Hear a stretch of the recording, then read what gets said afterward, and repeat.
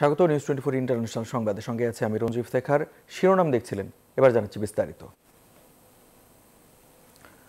তিপ্পান্ন বছরের রাজনৈতিক ক্যারিয়ারে প্রথমবারের মতো নির্বাচনে পরাজিত হলেন মালয়েশিয়ার বর্ষিয়ান নেতা ও সাবেক প্রধানমন্ত্রী মাহাতির মোহাম্মদ। এগিয়ে রয়েছে বিরোধী দলীয় নেতা আনোয়ার ইব্রাহিমের রাজনৈতিক জোট। তার সাথে জোর লড়াই করেছেন সাবেক প্রধানমন্ত্রী মহিউদ্দিন ইয়াসিন। আর তীব্র প্রতিদ্বন্দ্বিতাপূর্ণ নির্বাচনে ঝুলন্ত সংসদ সৃষ্টি হয়েছে দেশটিতে। নিবির আমিনের ডেস্ক রিপোর্ট। আজীবন দাপটের সাথে রাজনীতির মাঠে থাকলেও প্রথমবারের মতো মালয়েশিয়ার সাধারণ নির্বাচনে নিজের সংসদীয় আসনে হেরে গেলেন দেশটির সাবেক প্রধানমন্ত্রী মাহাথির মোহাম্মদ। নিজের সংসদীয় আসনে পাঁচ প্রার্থীর মধ্যে চতুর্থ হলেন তিনি। এই পরাজয়ে তার সাত দশকের রাজনৈতিক জীবনের ইতি দেখছেন অনেকেই। মাহাথির নিজেও এক সাক্ষাৎকারে জানিয়েছিলেন হেরে গেলে অবসর নেবেন রাজনীতি থেকে। এদিকে রোববার বিরোধী দলীয় নেতা আনোয়ার ইব্রাহিম ও সাবেক প্রধানমন্ত্রী মহিউদ্দিন ইয়াসিন দুজনেই নির্বাচনে নিজের দলকে বিজয়ী বলে দাবি করেছেন। যদিও নির্বাচন কমিশনের ভোটের ফলাফলে প্রথমবারের মতো ঝুলন্ত সংসদের মুখে দেশটি।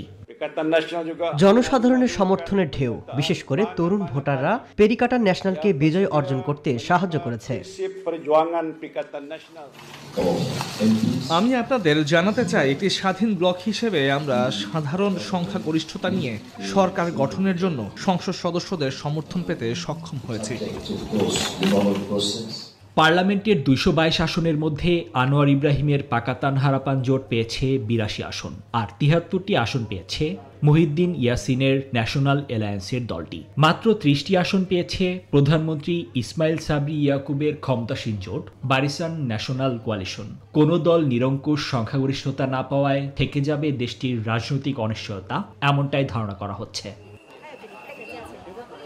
নিবির আমিন, নিউজ টোয়েন্টি ক্রমবর্ধমান মূল্যস্ফীতি আর রাজনৈতিক অস্থিতিশীলতা নিয়ে উদ্বেগের মধ্যে সাধারণ নির্বাচনে ভোট দিচ্ছে লাখো নেপালি।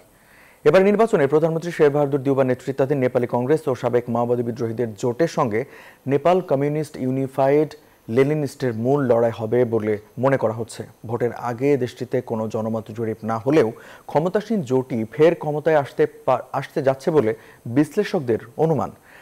রবিবার স্থানীয় সময় বিকেল পাঁচটায় ভোট গ্রহণ শেষ হবে বলে জানিয়েছে নেপাল, নেপালের নির্বাচন কমিশন। গণনা শেষে ভোটের চূড়ান্ত ফল পেতে দুই সপ্তাহ লেগে যেতে পারে। সফরে গিয়ে দেশটির প্রতি যুক্তরাজ্যের সমর্থন অব্যাহত রাখার প্রতিশ্রুতি দিলেন ব্রিটিশ প্রধানমন্ত্রী ঋষি সুনাক। শনিবার ইউক্রেনের প্রেসিডেন্ট জেলন্সকির সঙ্গে দেখা করেন তিনি। এদিকে বিদ্যুতের চাহিদা হ্রাস করতে ইউক্রেনীয়দের স্বদেশ ছাড়ার পরামর্শ দিয়েছে দেশটির ব্যক্তি মালিকানাধীন সর্ববৃহৎ বিদ্যুৎ উৎপাদন কোম্পানি। ইউক্রেনকে সহায়তা করতে ব্যর্থ হলে বিশ্ব অত্যাচার ও অশান্তিতে পরিপূর্ণ হয়ে যেতে পারে বলে জানিয়েছে যুক্তরাষ্ট্র। নিবির আমিনের ডেস্ক রিপোর্ট। ব্রিটিশ প্রধানমন্ত্রীর দায়িত্ব গ্রহণের পর শনিবার প্রথম ইউক্রেন সফর করেন ঋষি সুনাক। শনিবার ইউক্রেনের প্রেসিডেন্ট ভলোদিমির জেলেন্সকির সঙ্গে এক বৈঠকে অংশগ্রহণ করেন তিনি। বৈঠকে রুশ ক্ষেপণাস্ত্র হামলা থেকে ইউক্রেনের বেসামরিক জনগণ এবং গুরুত্বপূর্ণ জাতীয় স্থাপনা সুরক্ষায় দেশটিকে আকাশ প্রতিরক্ষা ব্যবস্থার নতুন একটি বৃহৎ প্যাকেজ দেওয়ার প্রতিশ্রুতি দেন সুনাক। শনিবারে দেয়া এক ভিডিও বার্তায় বৈঠকের ব্যাপারে বিস্তারিত জানান জেলেন্সকি в енергетиці. По всій країні працюють. দুই দেশের জন্য এবং বিশ্ব নিরাপত্তার জন্য গুরুত্বপূর্ণ বিষয়গুলো নিয়ে আলোচনা করা হয়েছে প্রয়োজনীয় সিদ্ধান্ত নিয়েছি আমরা সেগুলোতে আজ একমত হয়েছি Вінниччина, Тернопільщина. ইউক্রেনের বিদ্যুতের চাহিদা হ্রাস করতে বাসিন্দাদের দেশ ছাড়ার কথা বিবেচনা করা উচিত বলে মন্তব্য করেছেন দেশটির ব্যক্তি মালিকানাধীন সর্ববৃহৎ বিদ্যুৎ উৎপাদন কোম্পানি ডিটিইক এর প্রধান। রুশ ক্ষেপণাস্ত্র হামলায় ক্ষতিগ্রস্ত হয়েছে ইউক্রেনের প্রায় অর্ধেক বিদ্যুৎ কেন্দ্র। ফলে তীব্র বিদ্যুৎ সংকট দেখা দিয়েছে দেশটিতে। মার্কিন সংবাদ মাধ্যম এপি জানিয়েছে খেরসনের কাছে সম্ভাব্য যুদ্ধাপরাধের তদন্ত চালাচ্ছে ইউক্রেনীয় প্রসিকিউটররা। একই দিনে মার্কিন প্রতিরক্ষা মন্ত্রী লয়েড অস্টিন বলেন ইউক্রেনকে সহায়তা দিতে ব্যর্থ হলে ধীরে ধীরে আরও অত্যাচার ও অশান্তিতে পরিপূর্ণ হয়ে যেতে পারে বিশ্ব। নিবির আমিন নিউজ টোয়েন্টি জলবায়ু সম্মেলনে প্রাকৃতিক দুর্যোগের কারণে ক্ষতিগ্রস্ত দেশগুলোকে অর্থ সহায়তা দেওয়ার বিষয়ে একমত হয়েছেন প্রায় দুইশো দেশের প্রতিনিধিরা।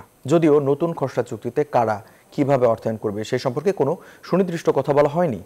জাতিসংঘের মহাসচিব এটিকে স্বাগত জানালেও এই তহবিল ক্ষতিপূরণের জন্য যথেষ্ট নয় বলে মন্তব্য করেছেন তিনি। বিস্তারিত মাসুদ রানার ডেস্ক রিপোর্টে। জলবায়ু পরিবর্তনে গরিব দেশগুলোকে ক্ষতিপূরণ দিতে এবারের সম্মেলনের প্রথম থেকেই শুরু হয় ব্যাপক দিন দরবার গেল নয় নভেম্বর শুরু হওয়া জলবায়ু সম্মেলন আঠারো নভেম্বর শেষ হওয়ার কথা থাকলেও কোনো সিদ্ধান্তে আসতে না পারায় সম্মেলনের সময়ও বাড়ানো হয় যা শনিবার গভীর রাতেও a পরে মিশরের শাম আল শেখে প্রেসিডেন্ট চুক্তি স্বাক্ষরের ঘোষণা দেন। জলবায়ু পরিবর্তনের বৈশ্বিক চ্যালেঞ্জ মোকাবেলায় আমরা একটি গুরুত্বপূর্ণ সন্ধিক্ষণে এসেছি।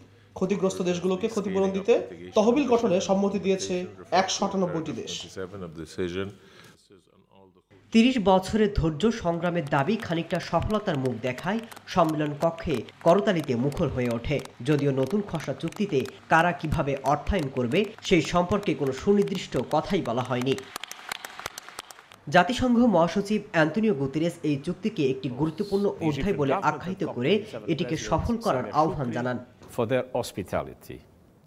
এটি জলবায়ু পরিবর্তনে বৈশ্বিক চ্যালেঞ্জ মোকাবেলায় সত্যি অসাধারণ সময় যারা সংকট সৃষ্টি করছেন আর যারা সংকটে পড়েছে তাদের জন্য এটি ন্যায় বিচার। যদিও এই তহবিল যথেষ্ট নয়। তবে সম্মেলনে অংশ নেওয়া অনেকেরই আক্ষেপ জীবাশ্ম জ্বালানির ব্যবহার কমাতেও কোনো ব্যবস্থার কথা বলা হয়নি। কার্বন নিঃসরণ করতে প্রতিশ্রুতি রক্ষা করার মতো কোনো কিছুই ছিল না এবারের সম্মেলনে। মিয়ানমারের সাংগাইং রাজ্যে জান্তা বাহিনী ও তাদের মিত্রদের সঙ্গে ব্যাপক সংঘর্ষ হয়েছে বিদ্রোহী গোষ্ঠীগুলোর। এতে অন্তত সত্তর সেনা নিহতের দাবি করেছে পিপলস ডিফেন্স ফোর্সেস, পিডিএফ। উত্তরাঞ্চলীয় সাংগাইং রাজ্যে সামরিক সেনা ও তাদের মিত্র হিসেবে পরিচিত সান্নি আর্মিদের সঙ্গে ব্যাপক সংঘাত হয়েছে বিদ্রোহী গোষ্ঠীগুলোর। এতে বহু সেনা ও তাদের মিত্ররা হতাহত হয়েছে বলে দাবি পিডিএফ এর অন্যদিকে, ষাট জনের বেশি বিদ্রোহী আহতের দাবি সামরিক সরকারের মিত্র এস এন এর। এদিকে, সব রাজনৈতিক বন্দীকে মুক্তি দিতে জান্তা সরকারকে আরও চাপ প্রয়োগের আহ্বান জানিয়েছে দেশটির জাতীয় ঐক্য সরকার। ইরাক ও সিরিয়ায় বিমান হামলা চালিয়েছে তুরস্ক। শনিবার সিরিয়ায় উত্তরাঞ্চল ও ইরাকের বিভিন্ন লক্ষ্যবস্তুতে হামলা চালায় তুর্কি সামরিক বিমানগুলো। মূলত সপ্তাহখানেক আগে তুরস্কের ইস্তাম্বুল শহরে একটি বিস্ফোরণের জবাবে পাল্টা এই হামলা চালানো হলো। ইস্তাম্বুলের হামলায় ছয় জন নিহত এবং আশি জনেরও বেশি মানুষ আহত হয়েছিলেন। তুরস্কের প্রতিরক্ষা মন্ত্রণালয় রোববার টুইটারে দেওয়া এক বিবৃতিতে অভিযান শুরুর ঘোষণা দিয়েছে। এতে দাবি করা হয়েছে, ইস্তাম্বুলে বোমা বিস্ফোরণের ঘটনায় জড়িতদের ওপর এই হামলা চালানো হচ্ছে। চব্বিশ ঘন্টায় বিশ্বে করোনা আক্রান্ত হয়ে পাঁচশো বিয়াল্লিশ জনের মৃত্যু হয়েছে। আক্রান্ত হয়েছে দুই লাখ ছিয়াত্তর হাজারের বেশি মানুষ। এ নিয়ে বিশ্বে মোট সংক্রমণের সংখ্যা চৌষট্টি কোটি আটাশ লাখ ছাড়ালো। আর ছেষট্টি লাখ পঁচিশ হাজার ছাড়িয়ে গেল মোট মৃত্যু। চব্বিশ ঘন্টায় যুক্তরাষ্ট্রে ছয় হাজার একশো চুরানব্বই জন করোনা রোগী শনাক্ত হয়েছে, প্রাণহানি হয়েছে ছেষট্টি জনের। ব্রাজিলে বিশ হাজারের অধিক আক্রান্ত হয়েছে, ফ্রান্সে শনাক্ত হয়েছে সাতচল্লিশ হাজারের অধিক করোনা রোগী। এখন পর্যন্ত ভাইরাসটি থেকে সুস্থ হয়েছে বাষট্টি কোটি বিশ লাখের বেশি মানুষ। মার্কিন বহুজাতিক প্রতিষ্ঠান, অ্যামাজনের প্রতিষ্ঠাতা ধনকুবের জেফ বেজোস সতর্ক করেছেন। সামনে অর্থনৈতিক মন্দা দেখা দেওয়ার শঙ্কা রয়েছে। এ কারণে মার্কিনীদের আসন্ন উৎসবগুলোতে অযথা অর্থ খরচ না করার পরামর্শ দিয়েছেন তিনি। যুক্তরাষ্ট্রের সংবাদ মাধ্যম সিএনএন এর সঙ্গে একটি সাক্ষাৎকারের এমন পরামর্শ দিয়েছেন বিশ্বের চতুর্থ ধনী ব্যক্তি বেজোস। তিনি সাধারণ মানুষকে অপ্রয়োজনীয় অর্থ খরচ না করার আহ্বান জানিয়েছেন। ভারতে গেল অক্টোবরে রপ্তানি আয় চার দশমিক তিন শতাংশ বেড়ে পৌঁছেছে পাঁচ হাজার আটশো ছত্রিশ কোটি ডলারে। বিভিন্ন ধরনের পণ্য দ্রব্য ও পরিষেবা রয়েছে রপ্তানির এ তালিকায়। দেশের বাণিজ্য ও শিল্প মন্ত্রণালয়ের তথ্য অনুযায়ী, অক্টোবরে সাত হাজার তিনশো কোটি ডলারে উন্নীত হয়েছে দেশটির আমদানি, যা পূর্ববর্তী বছরের একই সময়ের তুলনায় এগারো দশমিক আট দুই শতাংশ বেশি। চলতি অর্থ বছরের প্রথম সাত মাসে চুয়াল্লিশ হাজার চারশো চুয়াত্তর কোটি ডলারে দাঁড়িয়েছে ভারতের রপ্তানি আয়, যা দু সালের একই সময়ের তুলনায় উনিশ দশমিক পাঁচ ছয় শতাংশ বেশি। এপ্রিল থেকে অক্টোবর পর্যন্ত ছাব্বিশ হাজার তিনশো পঁয়ত্রিশ কোটি ডলারের পণ্য দ্রব্য রপ্তানি হয়েছে বলে জানিয়েছে ভারতের বাণিজ্য মন্ত্রণালয়। মধ্যপ্রাচ্যের দেশ কাতারে পৌঁছেছেন সৌদি আরবের ক্রাউন প্রিন্স ও প্রধানমন্ত্রী মোহাম্মদ বিন সালমান। কাতারে শুরু হতে যাওয়া ফিফা বিশ্বকাপ ফুটবলের উদ্বোধনী অনুষ্ঠানে যোগ দিতে শনিবার রাতে দেশটিতে পৌঁছেছেন তিনি। গত বছর তিন বছরের আঞ্চলিক বিরোধ শেষ হওয়ার পর উপসাগরীয় সংহতি প্রদর্শনে কাতার বিশ্বকাপের উদ্বোধনী অনুষ্ঠানে যোগ দিতে গেলেন তিনি। উত্তর কোরিয়ার সর্বোচ্চ নেতা কিম জং উনের হাত ধরে সাদা পোশাকে ছোট্ট একটি মেয়েকে দেখা গেছে। জানিয়ে আলোচনা সর্বত্র। বিবিসি সহ একাধিক আন্তর্জাতিক সংবাদ মাধ্যমে এসেছে, দাঁড়িয়ে থাকা মেয়েটি কিমের কন্যা। সংবাদ মাধ্যমে যে ছবি প্রকাশ হয়েছে, তাতে দেখা যাচ্ছে যে কিম তার মেয়ের হাত ধরে যেখানে দাঁড়িয়ে রয়েছেন, সামনেই পরমাণু অস্ত্রবাহী ওয়ার্স সিরিজের ক্ষেপণাস্ত্র। যদিও কিমের মেয়ের নাম প্রকাশ্যে আনা হয়নি। অবশ্য সাবেক বাস্কেটবল তারকা ডেনিস রডম্যান দু হাজার তেরো সালে দাবি করেছিলেন, কিমের একটি সন্তান রয়েছে, তার নাম জু অ্যায়